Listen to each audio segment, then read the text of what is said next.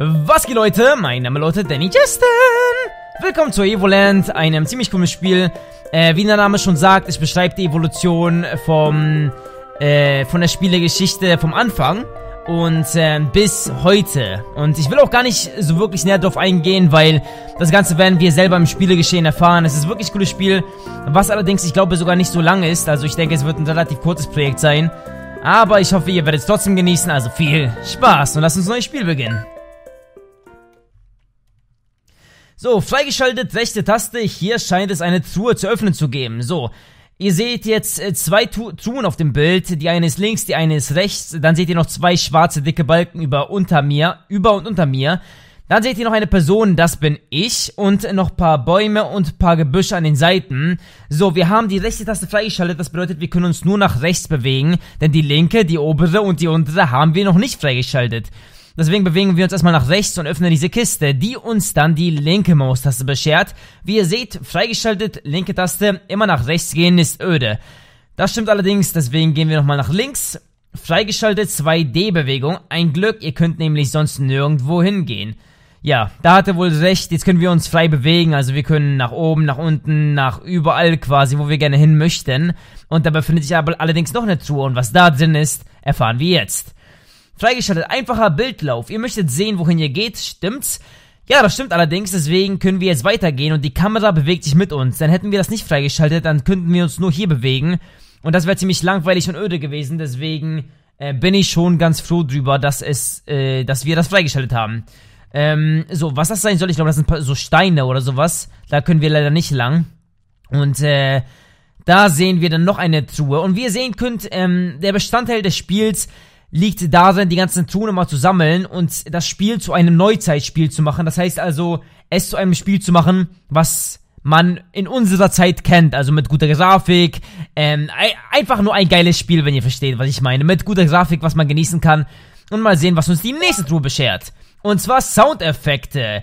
Dadurch war das Spiel gleich lebendiger, das stimmt allerdings, ihr könnt mal gerne versuchen, ähm, wenn ihr ein Spiel spielt, die Soundeffekte auszuschalten, das ist ein ganz anderes Spielerlebnis, als wenn ihr es ohne Soundeffekte spielt. So, weiter geht's. Hier sehen wir jetzt zwei Truhen.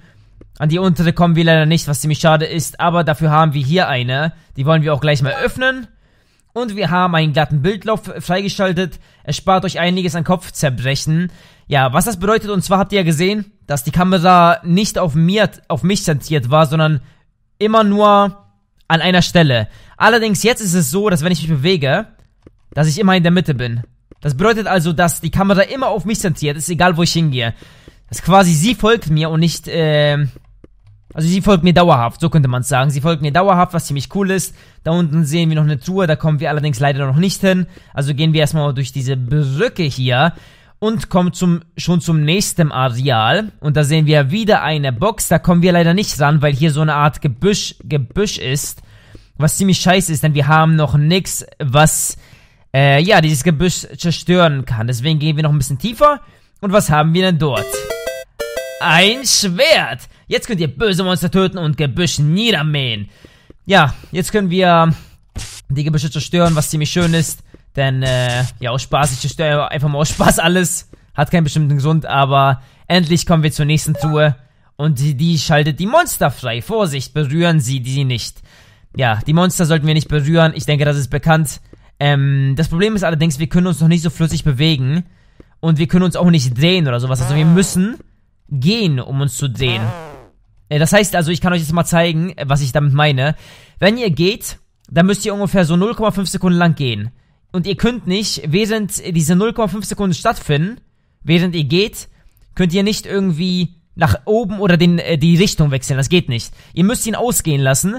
Und ähm, jetzt dürft ihr erst in eine andere Richtung äh, in eine andere Richtung gehen. Vorher geht das nicht, ihr müsst ihn quasi ausgehen lassen. Und ähm, das muss sich natürlich auch noch ändern, aber keine Sorge, das wird sich noch ändern. Also öffnen wir einfach die nächste Tour.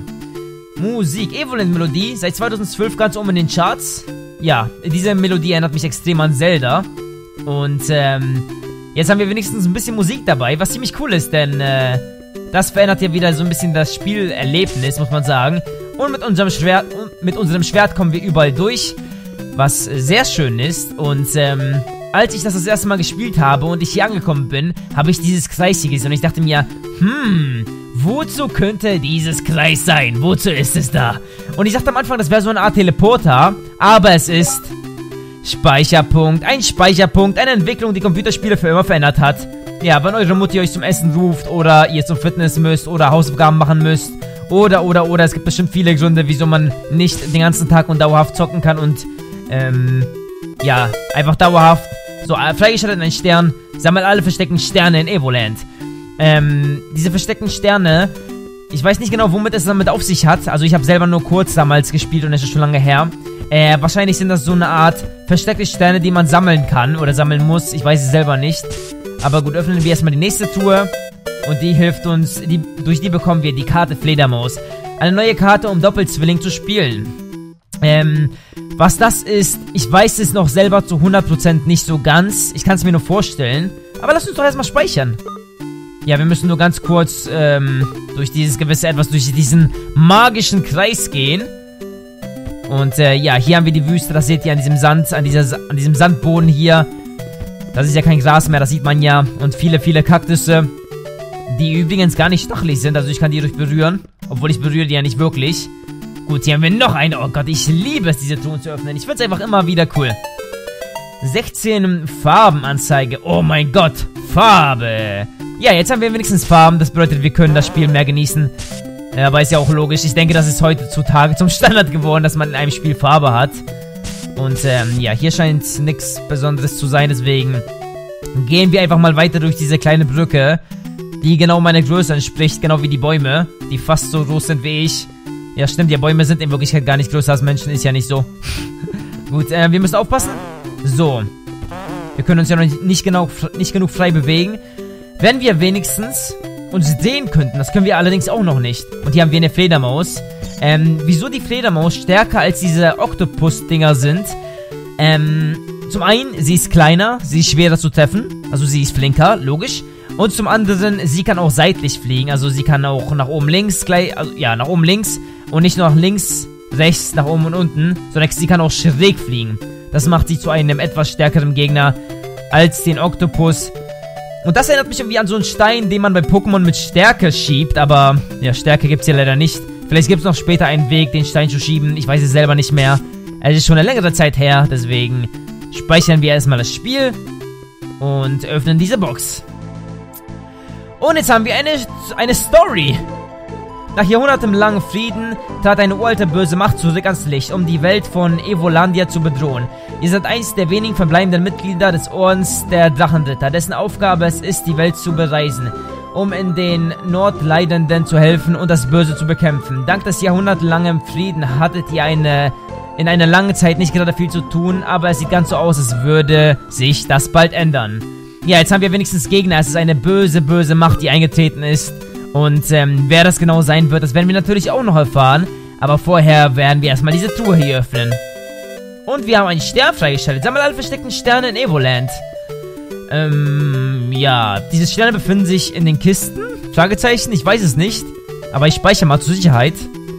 Ich schätze mal, das könnte nicht schaden. So, also ich denke, mittlerweile könnt ihr euch einen äh, relativ guten Eindruck vom Spiel gemacht haben. Und ich glaube, ich sollte aufpassen. Ja, ich sollte definitiv aufpassen. Ähm, so baut sich das Spiel langsam auf zu einem Spiel, was sehr, sehr gut aussehen wird. Aber da müsst ihr euch ein bisschen überraschen lassen.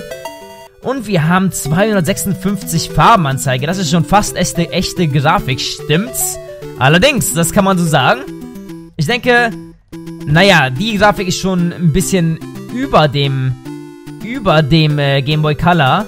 Aber ich denke, die vorherige Grafik war so auf Game Boy Color Niveau. Und da können wir auch lang. Wir können das speichern, allerdings kommen wir hier noch nicht durch. Zeichenanzeige. Zum Glück scheint euer Held diese Zeichen lesen zu können. Ja, wir können auch lesen. Wir gingen damals zur Schule anscheinend, keine Ahnung. Äh, dieser Pfad ist nur für wendige Abenteurer geeignet. Äh, für wendige, ja. Okay, okay, okay, okay, okay. Was mit wendige hier gemeint ist, werden wir sofort erfahren, Leute. Das ist nämlich das, von was ich gesprochen habe und worauf ich lange, lange gewartet habe. Doch endlich ist der Moment gekommen. Wir haben hier wieder ein Schild. Der Dimensionsstein versperrt den Weg. Versuche es mit einem mit dem Pfad im Osten. So, wir öffnen vorher erstmal diese Box.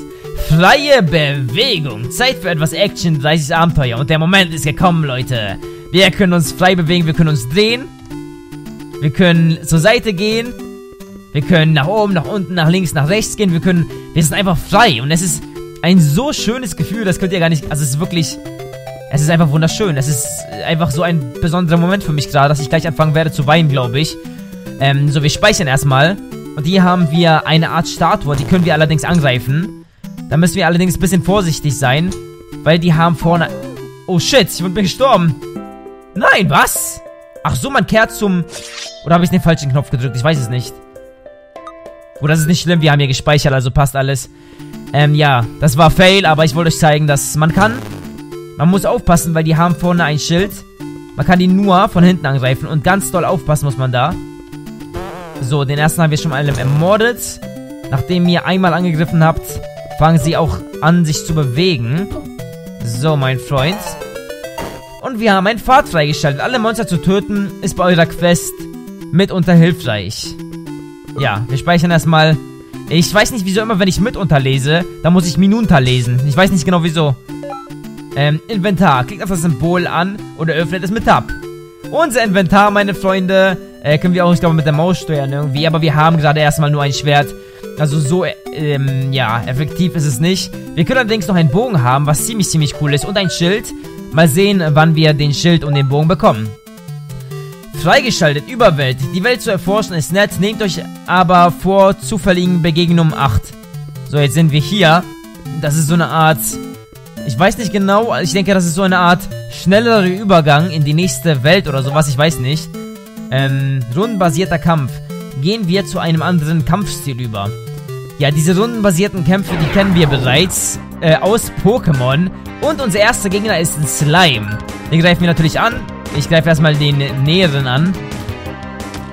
Und wir bekommen auch Schaden. Wir haben... Ich glaube, unser Leben ist das DP unten rechts. Angreifen. Attacke. So viel Leben haben diese Slime, das würde mich mal interessieren.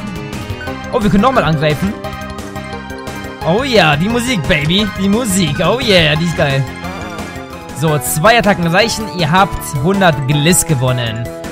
Ähm, ich weiß nicht genau, was Gliss sein soll. Äh, übrigens, da stehen unser Angriff, Attacke, oder nee, Angriff, 8. Und Verteidigung haben wir 0 anscheinend. TP haben wir 81 von 100. Ich glaube, das ist unser Leben, ich bin mir nicht so ganz sicher. Wir haben einen Trank. Äh, können wir den mit dem Haus irgendwie... Gegenstände. Ich weiß nicht genau, wie ich ihn aktivieren soll. Wir haben 2 von 30 Sterne. Wir haben 100 Gliss. Äh, wahrscheinlich ist es die Währung hier. Könnte ich mir vorstellen. Nur ich weiß halt leider nicht, wie man die Tränke aktiviert. Es tut mir leid. Ähm, das werden wir früher oder später noch erfahren. Und, ähm, die Gegner werden hier einfach spontan entscheiden, wie zum Beispiel jetzt. Und heilige Scheiße, ein Emok ist vor uns. Es ist äh, eine Art Vogel oder so, keine Ahnung. Und ja, TP ist unser Leben. Und, äh, wow, dieser Gegner ist schon etwas stärker, muss ich sagen. Ihr habt 50 Gliss gewonnen. Also, wenn wir einen Gegner killen, bekommen wir 50 Gliss. So, freigeschaltet Mode 7. Sah fantastisch aus als es seinerzeit 1990 eingeführt wurde. Also, äh, der Anfang, also es fängt bei irgendwie dem 18. Jahrhundert ein und jetzt sind wir ungefähr im 19. Jahr, im 90. Jahrhundert an einer anderen Stelle wieder angelangt. Hier haben wir noch eine Box. Ortsname, die Wiese. Hier erfahrt ihr die Namen der Orte, die ihr bereist. So, wir sind auf der Wiese. Vielen, vielen Dank. Und hier haben wir wieder dieselben Gegner. Auf die müssen wir ein bisschen aufpassen. Die sind nämlich ziemlich, ziemlich äh, gefährlich. Wenn man nicht aufpasst, ihr habt ja gesehen, wir sind gestorben. So, komm her, mein Freund. Oh, shit. Nein! Was? Vor allem, was ich ein bisschen merkwürdig finde und ein bisschen scheiße jetzt, muss ich ernsthaft wieder alles von vorne machen? Oh nee, wir sind wieder hier. Okay. Gut, das werden wir dann im nächsten Part machen. Vielen Dank fürs Zuschauen bei diesem Part von Evoland. Wenn ihr mehr davon sehen wollt, stellt auf jeden Fall sicher den Daumen nach oben zu drücken. Und ähm, ja, dann geht's weiter und ich sehe dich im nächsten Video wieder. Tschüss!